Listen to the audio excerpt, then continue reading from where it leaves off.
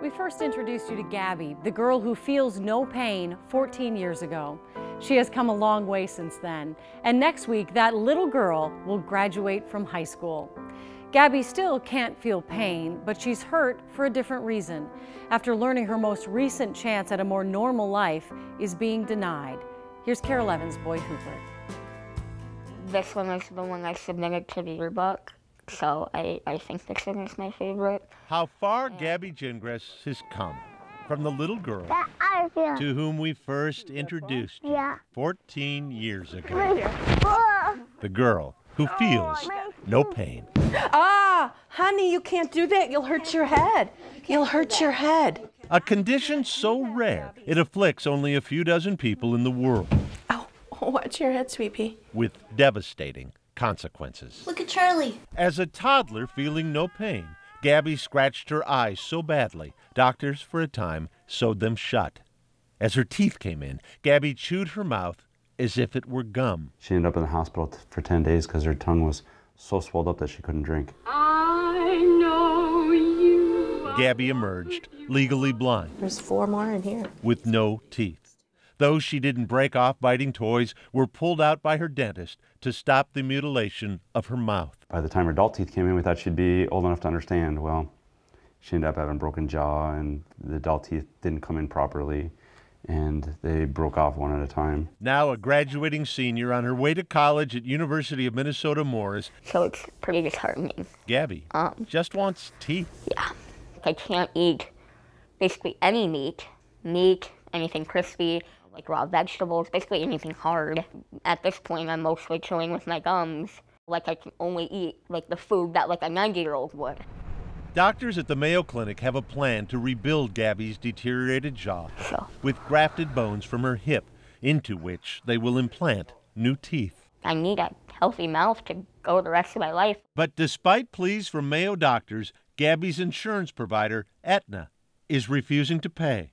In a letter, Aetna said the Mayo's procedures are not covered services, adding that Aetna will cover only services and supplies that are medically necessary. There are no other options for her. There are no options for dentures because there's no soft tissue. There's no structure left for her. This is the only option for her. I hate this right now just because it having no teeth changes the way you talk a little bit. It just changes what people think of what I say, and I hate that. It's not because she didn't brush her teeth that her mouth doesn't, doesn't work right.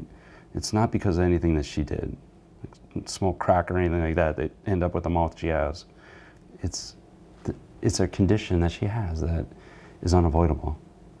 And we're asking for them to step up and do what they're supposed to do. The Mayo Clinic showed some heart, molding Gabby temporary plastic teeth so she could smile for her senior portraits. Even though like they're not real, but it's still nice to to see, you know, what I'm supposed to look like and how I kind of always pictured myself, even though I don't really look like that. Gabby's dreams are simpler than most, as basic as looking, speaking, and eating like everyone else. Her one big wish was bite an apple.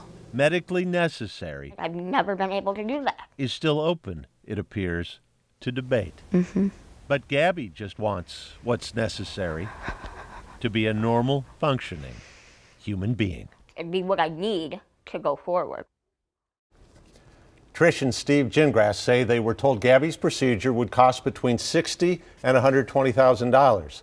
This afternoon, Aetna sent us this statement.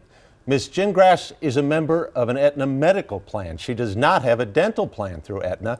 Dental services, including replacement of teeth or structures directly supporting the teeth, and specifically dental implants, are excluded from this member's medical plan.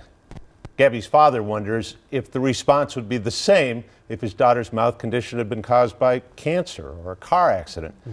Aetna told the Gingrases in a letter this week the company's latest review and decision is final.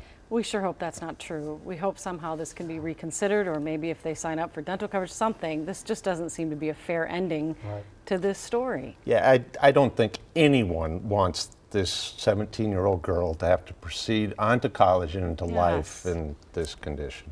Well, and, and we should address something that some people were, were seeing that we were doing this story and they were questioning the decisions made when A- Gabby was a young girl and lost her teeth and her eyesight. Can you speak to that? Just how really alone these parents were Oh, when if you this started? think back to, to when this started in the early 2000s, there, there were no support groups. Uh, their doctors didn't even know what this Right. was. They And were in really fact, it was in part because of Gabby and the worldwide attention that, they, that she received that some families did come together. There's few families that have had to deal with this, and, and there are support groups now.